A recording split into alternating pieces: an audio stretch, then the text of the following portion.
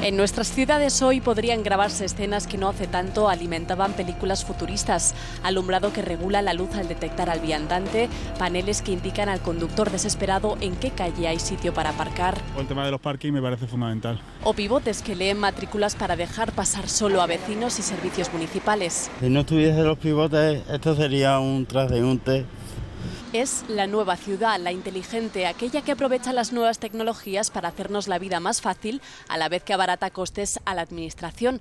Con ejemplos, Málaga ha ahorrado en un año un 20% en la factura de la luz. Farolas con, energía eólica, pero también tenemos farolas con energía eh, lumínica, fotovoltaica, que de ahí aquí tenemos un ejemplo. Otro, Madrid, primera capital europea en instalar pavimento inteligente, banda ancha en toda la Puerta del Sol. Puede tener acceso a internet, puede tener acceso a wifi, puede tener acceso a contenidos de la ciudad y además disfrutar de toda la información municipal, ocio y turística.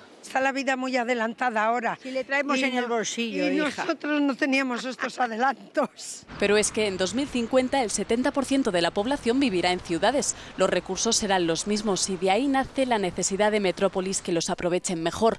Para no construirlas por el tejado, algunos ayuntamientos, empresas de servicios y plataformas ciudadanas han tomado distancia de la ciudad para debatir. Tenemos las peores periferias. Tenemos que mirar hacia, hacia atrás y recuperar lo bueno, lo inteligente de la ciudad que hemos perdido en el camino.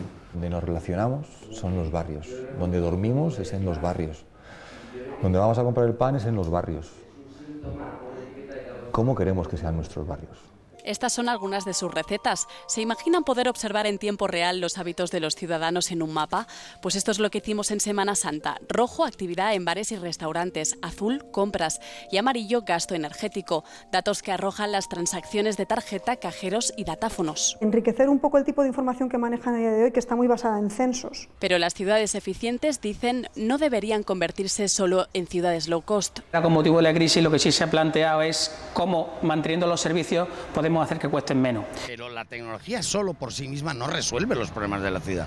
Por eso es importante implicar a los ciudadanos más que hasta ahora, como hace este proyecto del Observatorio de Urbanismo de la Universidad Autónoma de Barcelona para recuperar los interiores de algunas manzanas en el barrio barcelonés de la Champla. Aquí podía tener ahora mismo una información eh, digital que me explicara este agua que estoy consumiendo ahora, que representa en el consumo de la manzana. Y dar voz al ciudadano usando, por ejemplo, los parquímetros. Que fuera también una especie de buzón, buzón de sugerencias en lo que se refiere a los temas ambientales desde la manzana, desde la calle, desde el barrio, hacia el ayuntamiento. Estos vecinos de Virgen de Begoña, en Madrid, ya se han implicado en un proyecto para la remodelación del barrio. Creo que una ciudad inteligente tiene que tener ciudadanos inteligentes, pero si no hay ciudadanos que las usen o que aporten, no hacemos ciudades inteligentes.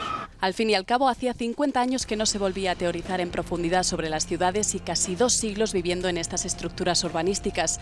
El riesgo, alertan los expertos, de reinventarse a través de la tecnología es que salgan todas las ciudades, si no iguales, muy parecidas.